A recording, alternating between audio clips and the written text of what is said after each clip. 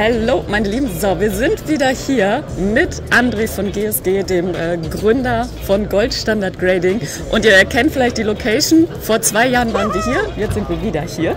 Äh, sehr, sehr nice und natürlich erstmal herzlichen Glückwunsch jetzt auch generell natürlich zum Erfolg der Firma und auch zur Cardvention 3. Ja, es ist noch im vollen Gange. Wie zufrieden bist du bisher? Ja, ich muss sagen, erstmal Dankeschön. Schön, dass wir hier sein dürfen, wieder ja. auf, dem, auf dem Betzenberg, wieder in einem ja, historischen Stadion. Ähm, ich bin sehr zufrieden. Man hat natürlich immer eine gewisse Anspannung, das ist normal, aber jetzt, wo es seit drei Stunden mittlerweile, glaube ich, läuft, ja. Ja, passt sehr, sehr gut. Haben, äh, glaube ich, gute Vorarbeit geleistet im gesamten Team und äh, das passt ganz gut. Sehr gut. Was würdest du sagen, wie hat sich GSG in den letzten beiden Jahren entwickelt?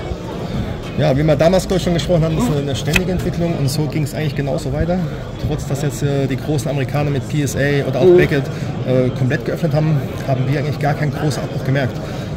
Natürlich ist das Training Cards Business aktuell, merkt man schon, kommen mehr äh, Boxen vom Fußball raus, ist natürlich ja. da ein bisschen mehr Einreichungen, ja. kommen gute Pokémon-Boxes raus oder Displays oder von, von One Piece, dann geht es da wieder hoch. Im Großen und Ganzen haben wir unsere Linie mhm. und äh, von der Einsendung passt eigentlich auch und ob PSA jetzt mehr macht, weniger, merken wir eigentlich gar nicht. Ja.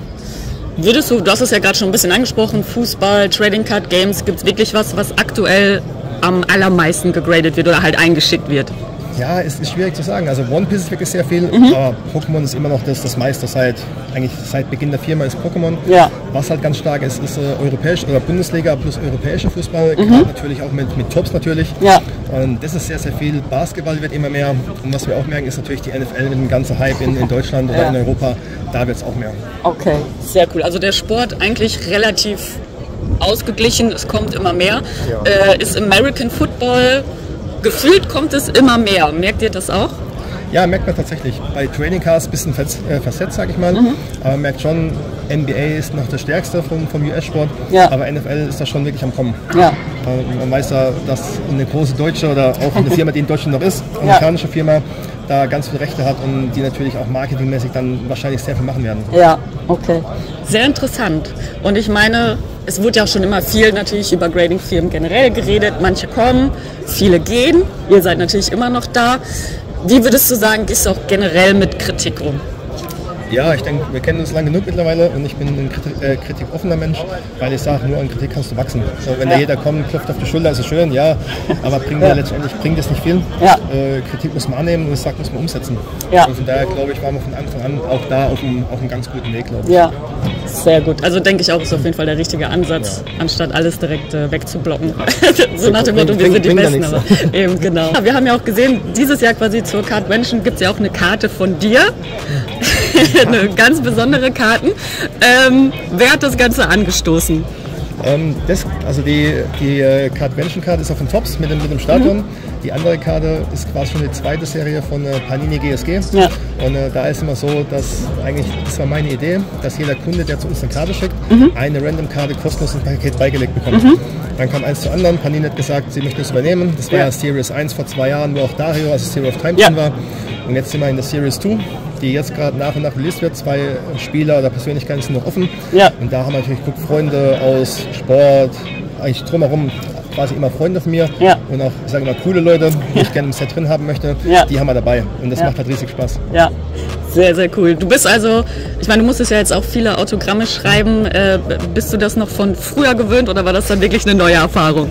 Ja, das, das, das ist eigentlich verrückt. Also als Fußballer kennt man das eigentlich. Ja. Aber ich glaube, dass mittlerweile sogar mehr ist als damals, wo ich beim FCK gespielt habe. Das ja. ist ver verrückt, weil eigentlich bin ich ja nur ein Gründer einer, einer Firma. Ja. Aber natürlich durch die anderen Persönlichkeiten hat man natürlich auch viel Kontakt. Man, man wird erkannt von den Leuten. Ja, und es macht irgendwo auch Spaß, wenn die Leute sich freuen. Ja. Das ist ja ganz cool. Ne? Nice, sehr cool. Äh, ich hoffe übrigens, ich kriege auch noch so eine Karte. Mir fehlt nämlich noch eine. Ah, okay. Die brauche ich auch noch. Ähm, bei dir zu Hause, was würdest du sagen, ist da dein heiliger Gral? Also welche Karte ist so deine Top-Karte bei dir zu Hause? Um, ähm, ich glaube, wir hatten damals darüber gesprochen. Bei mir geht es nicht um den Wert, bei mir geht es um die mhm. Karte an sich. Und meine erste Karte war eine Tops-Karte von Michael Jordan in den 90ern. Und äh, es war noch vor Pokémon, weil das war noch ein paar Jahre davor. Ja. Und äh, das ist eigentlich so die Karte, die ist 5 Dollar wert, gar nicht viel wert. Da ja. macht äh, Michael Jordan im weißen Trikot gerade einen Slam-Dank. Ja, ja. Das ist meine erste Karte und die habe ich jetzt auch wieder geholt. Ja. Die ist in meiner Sammlung und das ist die wichtigste Karte von allen. Nice, sehr, sehr cool. Dann würde ich sagen, Cardvention 3 Wir gucken natürlich auch schon immer ein bisschen auf, was noch kommt. Was sind deine Ziele? Vielleicht kannst du ja auch schon ein bisschen was verraten, auch zur Kartmenschen vor. Ich bin mir sicher, sie kommt. Ja, die, die muss ja kommen. ja. Also das, das, müssen wir ja der Community geben. Ja. Also selbst wenn nicht wollten, müsste es kommen. Nee, aber Spaß beiseite. Also wir schauen natürlich jetzt, wenn dies rum ist, gibt es erstmal ein paar Wochen ein bisschen runterkommen wenn man es so nennen darf, weil der Grading-Prozess läuft ja weiter. Das normale ja. Geschäft, ja. nur mein Convention-Geschäft, was zusätzlich war, habe ich nicht mehr. Und dann geht es eigentlich schon wieder, so blöd es klingt, im Ende Mai, Anfang Juni schon ja. wieder los mit der Planung. Und dann schauen wir auch wirklich so, welche Location wählen wir, wo wollen wir hin. Wir müssen es natürlich jetzt noch größer machen. Wir haben jetzt 2000 Leute reingelassen. Ja. Ähm, die Veranstaltung war in vier Wochen ausverkauft. Wir hatten Anfrage über 4000 mittlerweile. Krass, also eigentlich müssen wir sogar weiter wachsen und den Leuten noch mehr geben. Ja, sehr, sehr cool. Vielleicht, ich bin ja immer dafür, gibt es auch noch ein Turnier. da ne, als Trading Card Fan, vielleicht kommt ja noch mal ein Turnier. Darüber müssen wir auf jeden Fall auch noch mal reden. Ja. Vielleicht gibt es die Fläche nächstes Jahr. Und ja, ansonsten natürlich herzlichen Glückwunsch. Vielen, vielen Dank für das Danke. Interview und natürlich weiterhin alles Gute. Leute, ESG, let's go. Immer wieder gerne. Danke.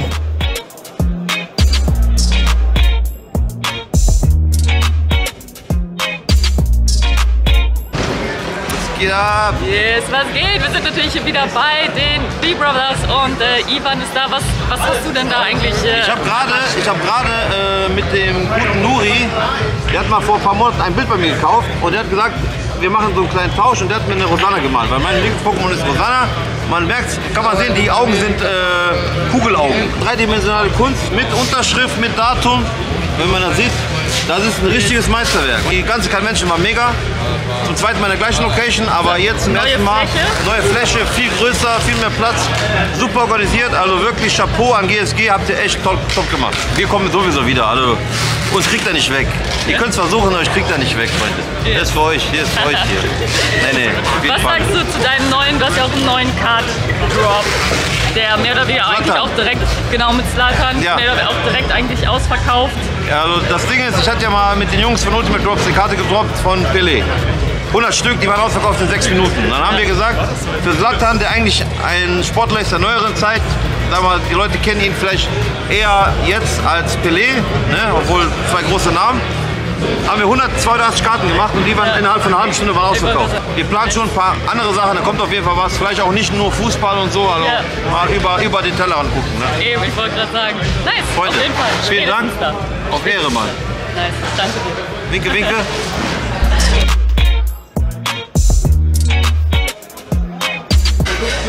So, ich bin jetzt natürlich hier einmal wieder mit dem Pokepilot. Hallo! Yes. Was, äh, was hast du für schöne Karten erhascht? Also ich habe ein bisschen was getauscht, aber was ich gerade so in der Tasche hatte, waren diese beiden wunderschönen Karten. Nichts allzu wildes, aber auf jeden Fall sehr schöne Artworks. Wie ja. fandest du die Show? War sehr cool, also hat auf jeden Fall Spaß gemacht. Riesige Area, man konnte hochgehen, hatte seinen Platz, man konnte ja. zum, zum, äh, zum Rasen und so, das war sehr, sehr cool. Dann ja. sehen wir uns beim nächsten Mal. Alright. Tschüssi. Sommerhaus, du weißt, war die geilste. Gab es auch eine von Tops produzierte Mickey Mantle Baseball-Karte, äh, die auch verkauft wurde. Und was würdest du da schätzen? Wenn ich so fragst, dann wird es weit mehr sein wahrscheinlich Messi. 200, 250.000. Es gab in der Tat 12,6 Millionen. What? Was geht bei euch? Warten aufs Taxi. Wir warten aufs Die bestellt und nicht abgeholt. Ja, aber wir stehen erst fünf Minuten. Wie war's für euch? War brutal. Super, echt. Richtig geile Messe. Highlight, ja. Sehr, sehr geil. Seid ihr zufrieden? Ja, zufrieden. Und selbst? Jetzt von Karten her war es auch richtig nice, fand ich. Dann sehen wir euch auch auf der nächsten Messe. Definitiv, ja. Auf jeden Sehr Fall. Gut. Ja. Bevor die Einheit gemacht haben. Du musst auch die Karten vorstellen. Ja. Das sind nämlich dann okay. ganz viele Extremsportler.